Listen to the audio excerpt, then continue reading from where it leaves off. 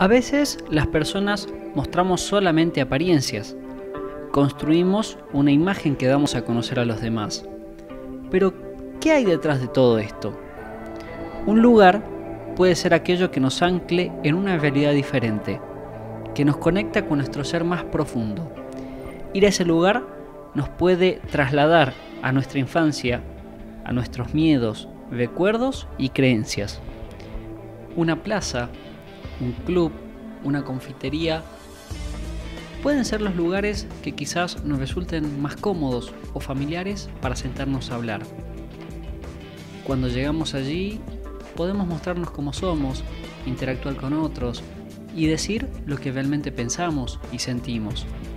Por eso, en este ciclo de entrevistas, trataremos de desentrañar qué hay detrás de la imagen que muestran los políticos que quieren representarnos en el Congreso.